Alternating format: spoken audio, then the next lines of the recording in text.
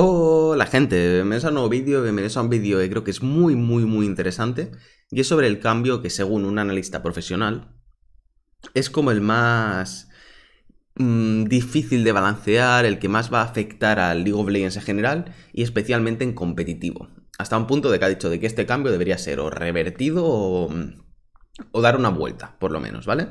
Vamos a hablar otra vez de los dragones, pero en este caso no vamos a hablar del alma del dragón, no vamos a hablar de las bonificaciones que te dan a largo plazo cuando tú te vas cargando dragones, sino que vamos a hablar de la modificación que hace el dragón en el mapa.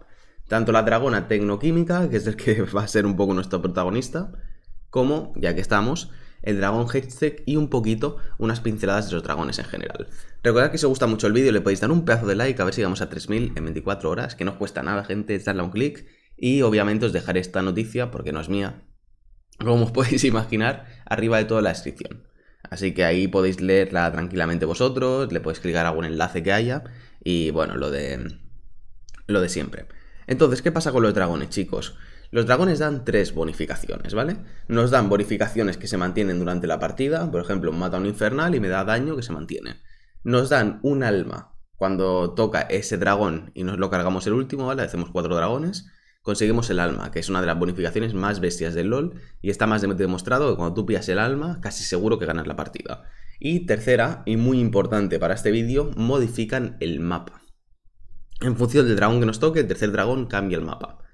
Y cada uno hace unas cosas. ¿Qué cambios de mapa tenemos? Dragón infernal. Se carga muros de la grieta, ¿vale? La zona del red y todo esto, ya sabéis que tiene menos, menos muros. Y también se modifican en, normalmente la zona donde está el dragón. No solo visualmente, sino que o se amplía un poco más el área, o se pone otro muro, o, lo que sea.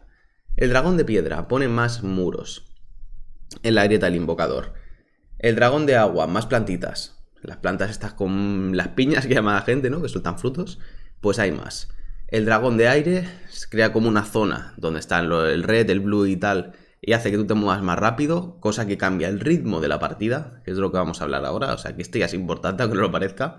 No es el que más cambia en absoluto el ritmo de la partida, pero sí que es verdad que poderte mover un poco más rápido por estas zonas, hombre, eso ya agiliza bastante. Y los dos nuevos, el Hedgetech y la Dragona Tecnoquímica, son los que más problemas dan en ese sentido. El Hedgetech crea portales.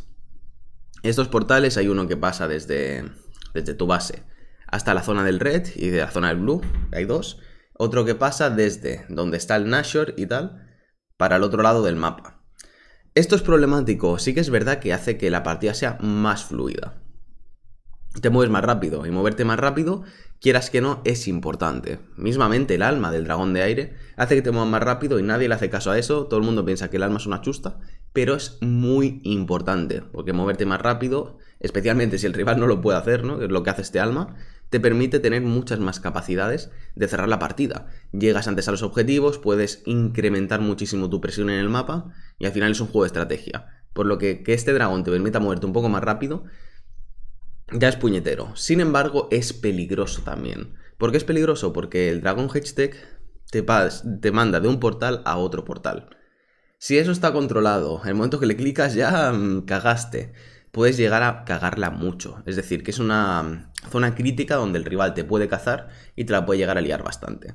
Y finalmente, nuestro protagonista, para el final, tenemos a la dragona tecnoquímica, que lo que hace es que la zona está del retital, donde actuaba el dragón de aire, pues nos destroza arbustos que ya no existen, ¿vale? Y eso es muy importante. Y aparte crea zonas de camuflaje, donde los pinkies crean una, una zona clave para poder ver a los rivales y tener un poco controlado este, este trozo del mapa, ¿no? Entonces, ¿por qué cree que esta analista profesional, que Skydrell, es tan, tan malo esto, ¿no? Porque hay arbustos, y esto yo no lo había tenido tan en cuenta, o sea, obviamente lo había tenido en cuenta, pero no a este nivel.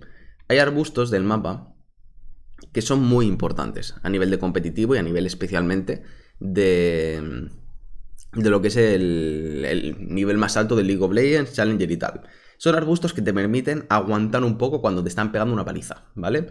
Si los tienes controlados, puedes evitar sieches continuos, puedes más o menos intuir por dónde va a ir el rival, incluso puedes hacer cazadas aprovechando que ellos saben, o sea, que tú sabes que ellos van a intentar crear cosas por aquí. Y son arbustos en la jungla, por ejemplo, que estáis viendo aquí, que desaparecen con el dragón. Y más importante incluso, que esa zona de allá es una zona ya muy complicada. Acercarte a poner un pinky puede ser tu muerte directamente, que os he dicho que son súper importantes, ¿no? Tener guardado, por ejemplo, donde estaba este arbusto, es clave cuando hablamos de este dragón. Y el pinky es lo que tenéis que poner. Y claro, acercarte a poner un pinky cuando vas perdiendo, cuando tiene toda la presión, hostia. Eso es peligroso. Encima son zonas por donde tú tienes que pasar para intentar pelear objetivos. Dragón y Nashor. Tienes que pasar sí o sí por ahí, a no ser que quieras ir por líneas, que todos te van a ver casi seguro. Mm, eso ya es más complicado también. Y ellos pueden estar perfectamente intentando hacer cazadas que encima en competitivo les encanta hacer la del Call of Duty. Es decir, que cuando sale este dragón y tú vas por detrás, estás fucked.